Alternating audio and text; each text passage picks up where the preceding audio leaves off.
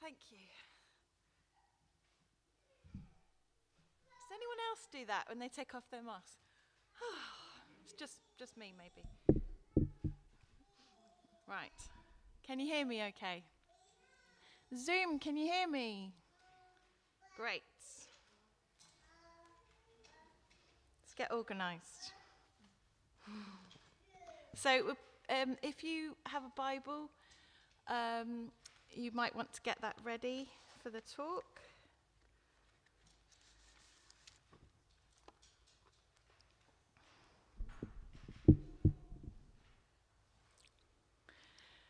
So, yeah, my name's Jenny, and I'm talking to you this morning um, on our series, Unmute. And my little title today is Everyone Gets to Play.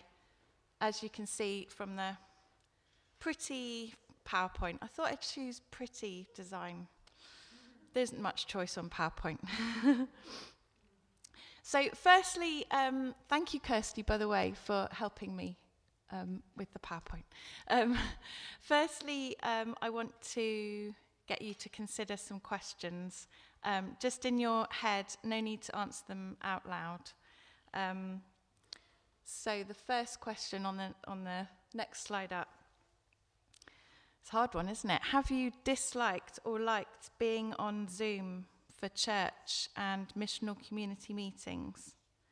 And be honest with yourself why do you think you feel like that? Okay, next question. Are you excited or nervous or a mixture of both about connecting with church and your missional? I put MCs, that's missional communities, in the flesh again. And again, why do you think you feel like that? So the second question um, is concerning what we've labelled as unmute. So our voice can be heard again in our groups and amongst the community that we're going to hopefully try and connect with and are trying to connect with at the moment. So, does that notion liberate you or make you feel a bit wary?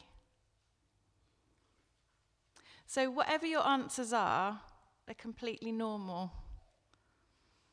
And having the self insight to acknowledge the reason why you feel things is part of wisdom uh, for being a human being and a Christian.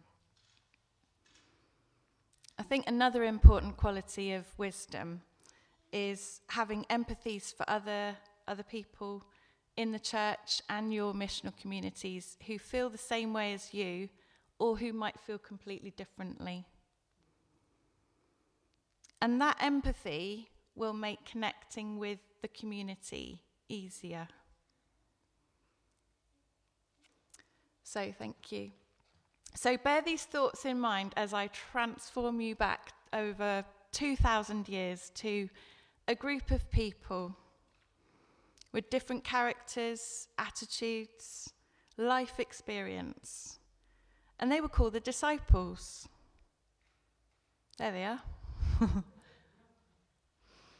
they were Jesus' 12 um, top followers. He had lots of followers, but they were the 12 main followers, who you could say, although they probably didn't realize it at the time, were arguably the first of Jesus' missional communities.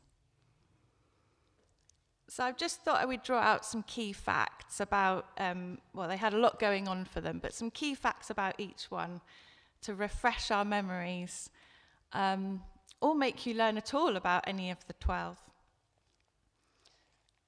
I'm just going to have a drink.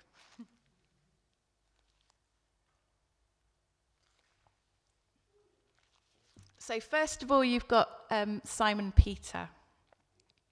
And he was the brother of Andrew. He was a fisherman. He was married. Um, he seemed quite headstrong just from what we read about him. Um, for example, he didn't want his feet washed at first by Jesus um, at the Last Supper. Uh, he couldn't understand how a savior wanted to be a servant. He didn't quite get it. He got it eventually, as we know. He denied Jesus three times at his arrest But then he turned out to be the first prominent leader of the Christian church. And he's also, also the author of 1 Peter and 2 Peter in the Bible. So next to him, you've got um, Andrew. And that was uh, Peter's brother. He was also a fisherman. He actually started as a disciple of uh, John the Baptist. And Andrew recognized Jesus as the Messiah when he saw him. And he introduced Jesus to his brother um, Peter. Next to him, in the fetching blue attire, uh, is James. So, James was um, the son of Zebedee. He left his father fishing to follow Jesus, and he was known as Big James. He was quite tall. Next to him, you've got John. He was also the son of Zebedee, and he left his father, um, who was fishing, to follow Jesus as well. And John, um, we know um, Jesus loved him like a brother, and Jesus um, wanted him to take care of his mother Mary um, upon his crucifixion. He's the, he's the author of the Gospel, John. He's written three epistles and he's the author of Revelation. A fact, he was the only disciple to die of natural causes in the end. Just a little fact. And he was a leader in the early church as well. And next to him, you've got Philip. He looks a bit puzzled. he recognizes Jesus um, as the prophet that the Old Testament um, predicts that they talk about he tells Bartholomew, also known as Nathaniel, about Jesus.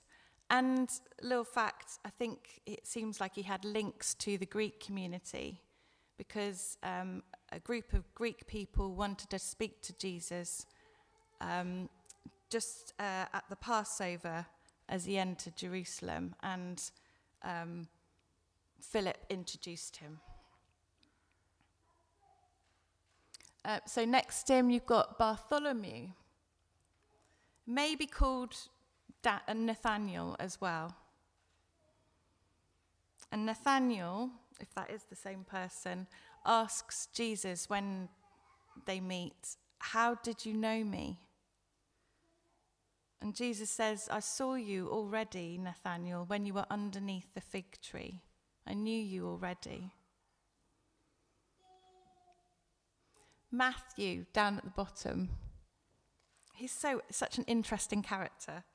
Um, he's also called Levi, and he was a Jewish tax collector for the Romans. So he would not have necessarily been liked by his fellow Jews. But we know he just left his tax collector booth when Jesus said, Follow me. I just got this vision of him leaping over the tax collector booth, but we, that's just in my imagination. But it's quite dramatic just to follow him. And Jesus went for a meal with him and his sinner friends, in inverted commas. And he was the author of the Gospel of Matthew.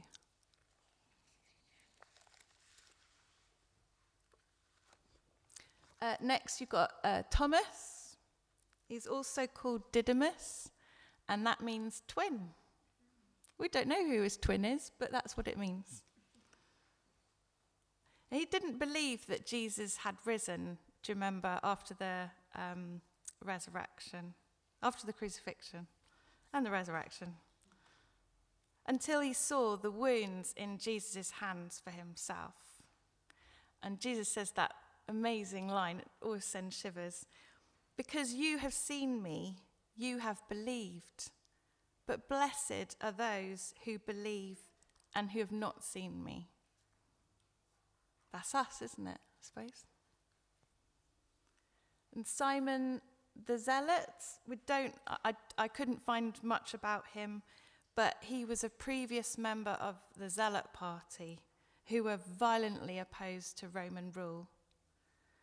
So uh, you can imagine um, maybe him and Matthew didn't quite see eye to eye when they first met each other.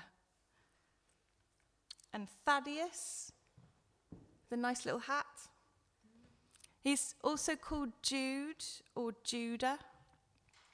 He might be the Jude that wrote the book Jude, who might be the brother of Jesus. There's, a lot, there's lots of mites.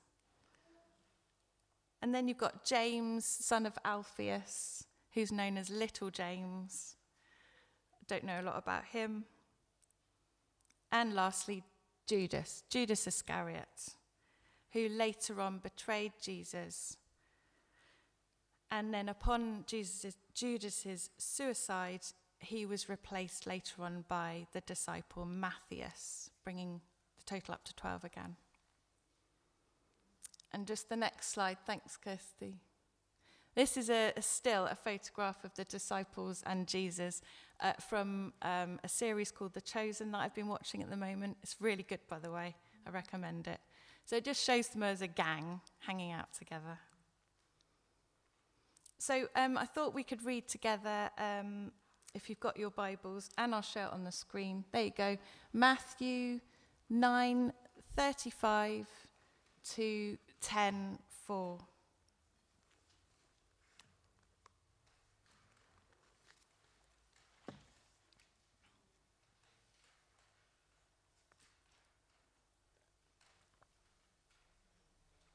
And I've forgotten, sorry, Zoom, to look at the camera. And they, um, Rich said, look at the camera. Sorry. Lots of places to look. So, Jesus went through all the towns and villages, teaching in their synagogues, preaching the good news of the kingdom and healing every disease and sickness. And when he saw the crowds, he had compassion on them because they were harassed and helpless, like sheep without a shepherd. Then he said to his disciples, The harvest is plentiful, but the workers are few. Ask the Lord of the harvest, therefore, to send out workers into his harvest field. He called his twelve disciples to him and gave them authority to drive out evil spirits and to heal every disease and sickness. And these are their names of the twelve apostles.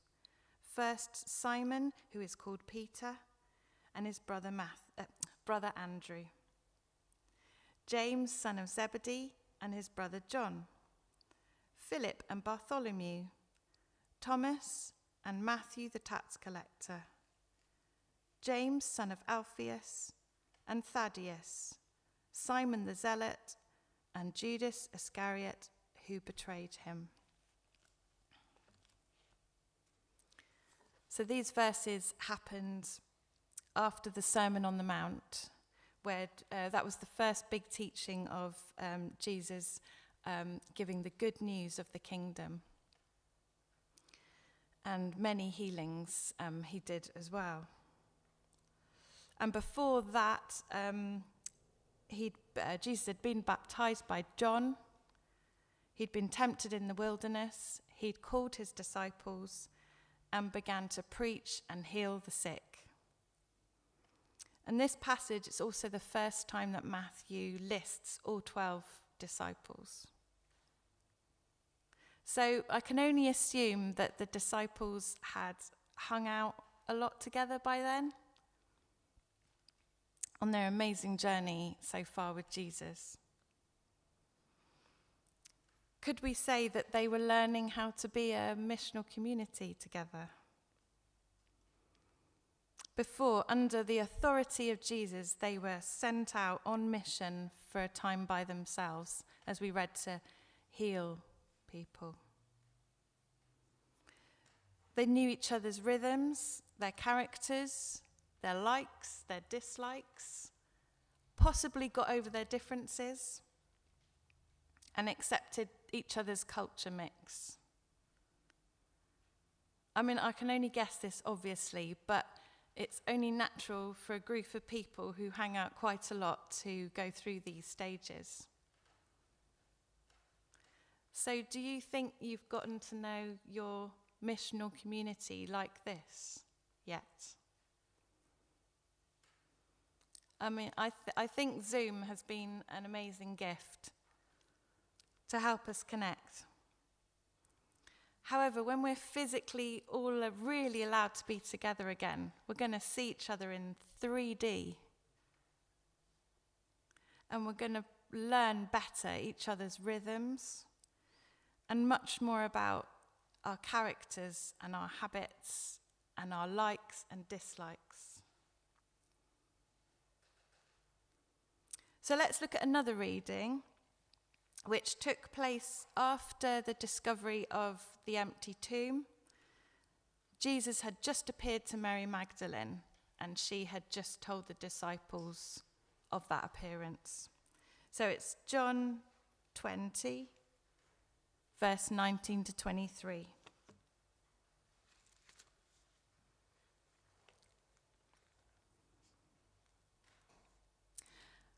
On the evening of that first day of the week, when the disciples were together, with the doors locked for fear of the Jews, Jesus came and stood among them and said, Peace be with you. After he said this, he showed them his hands and side. The disciples were overjoyed when they saw the Lord. Again, Jesus said, Peace be with you. As the Father has sent me, I am sending you. And with that, he breathed on them and said, Receive the Holy Spirit.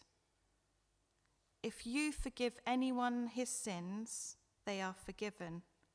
If you do not forgive them, they are not forgiven.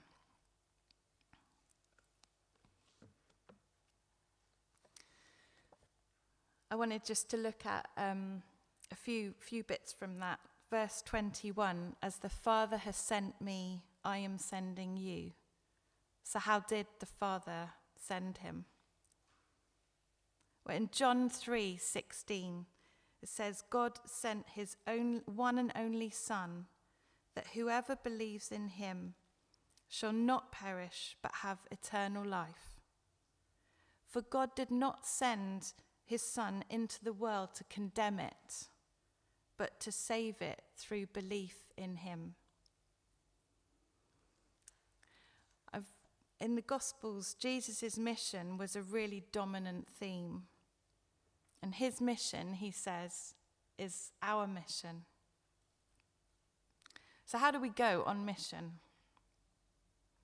Well, with Jesus through the Holy Spirit. I want to talk about the Holy Spirit. The Holy Spirit is our helper. The Holy Spirit will drive us and inspire us if we give it the steering wheel and we let it and we trust it to operate as God wants us to. In verse 22 says receive the Holy Spirit. He blew or breathed on them.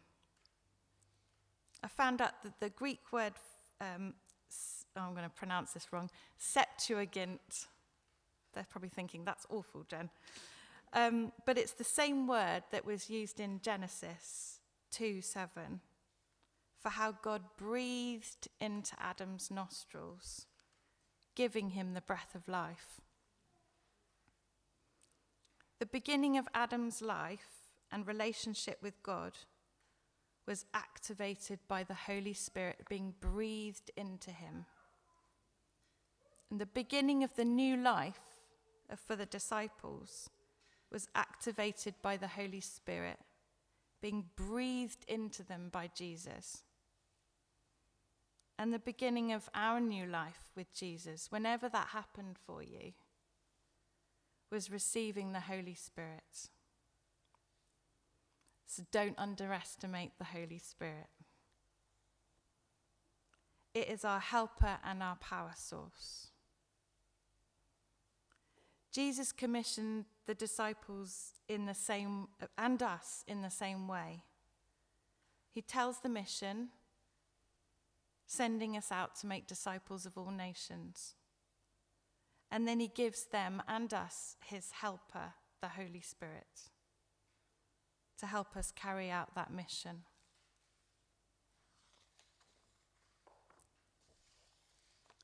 Just like in the disciple, uh, just like in the verse where every disciple was asked to go on mission, every member of the church can join in on mission.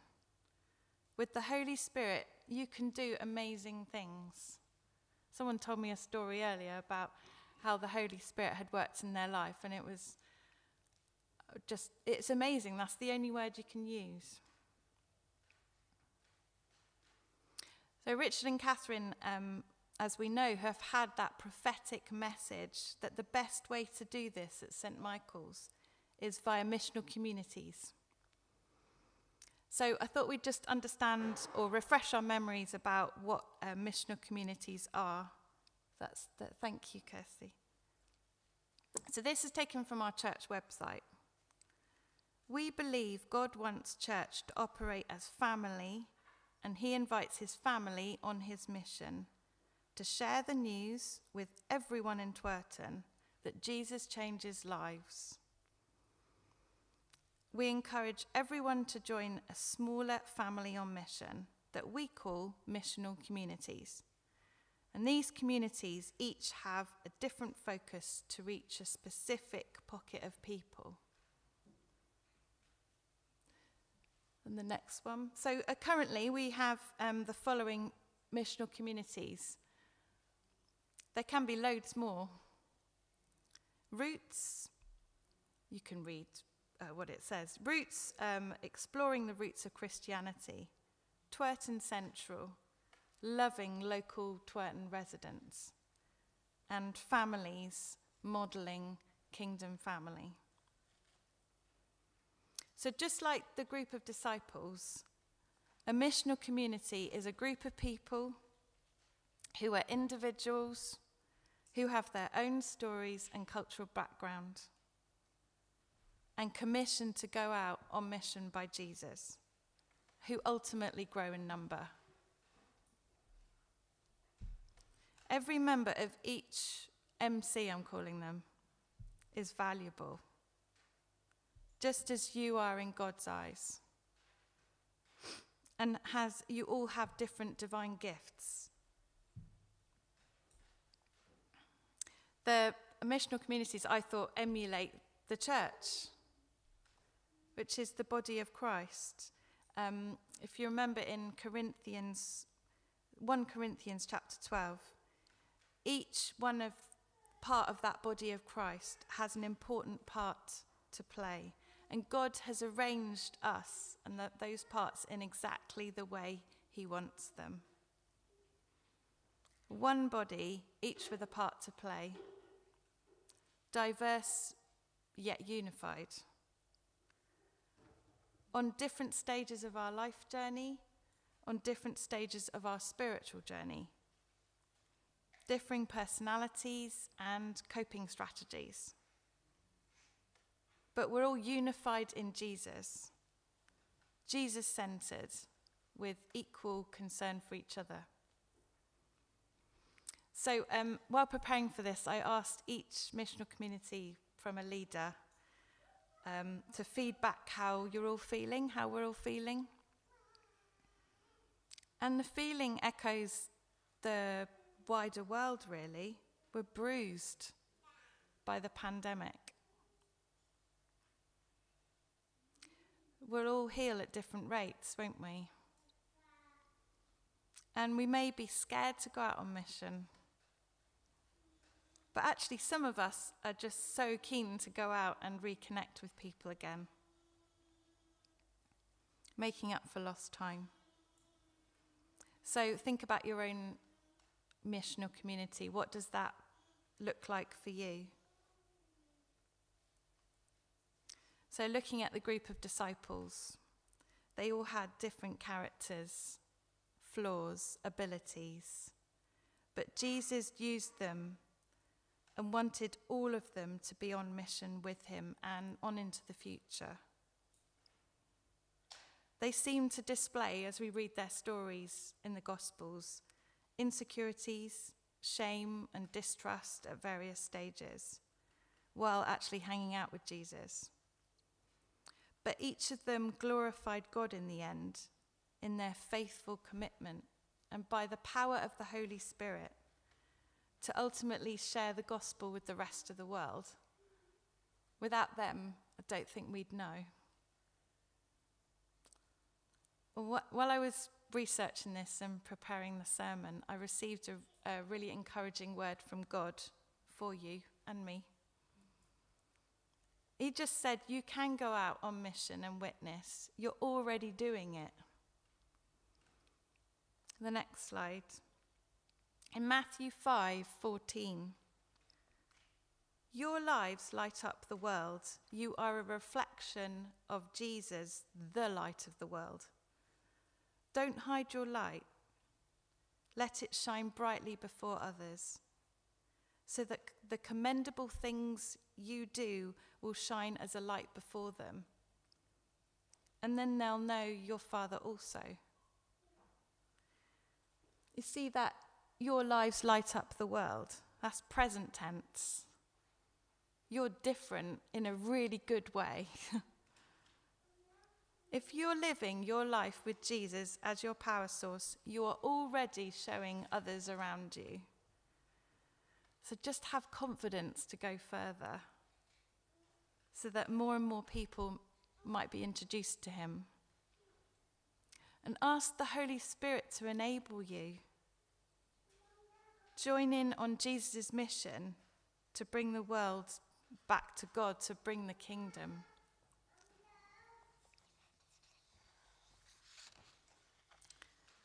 And um, I think this is a really important point that even in our brokenness and suffering, we all have value and worth, and we're, we are discipling.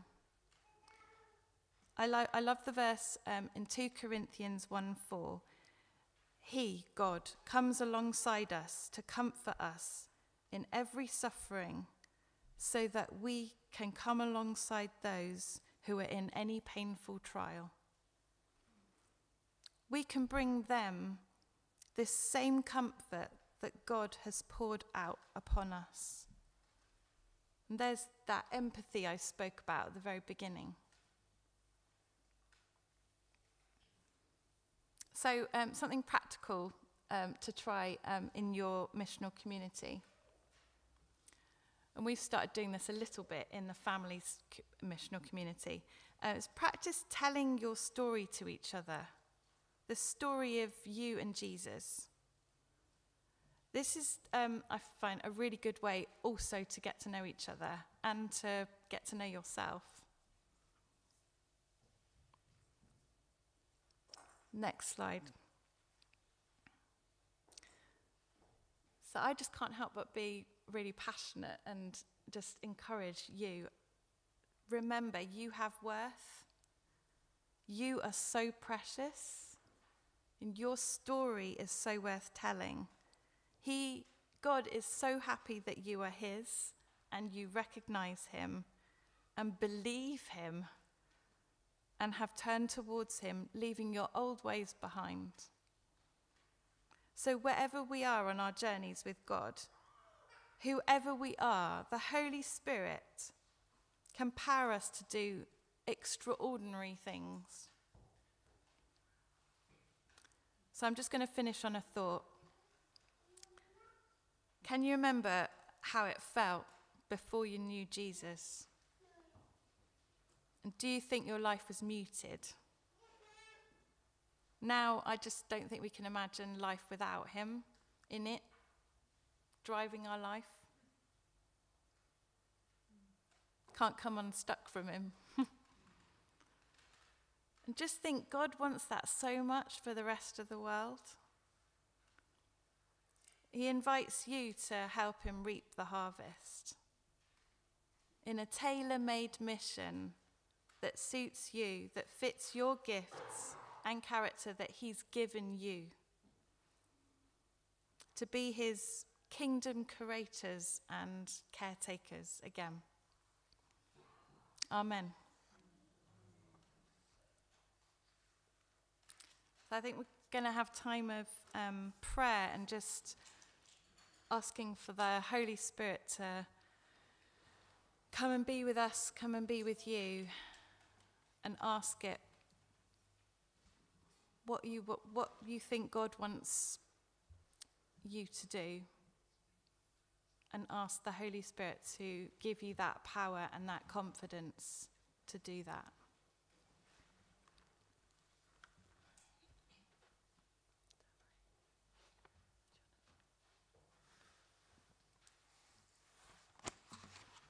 Thank you, Jenny.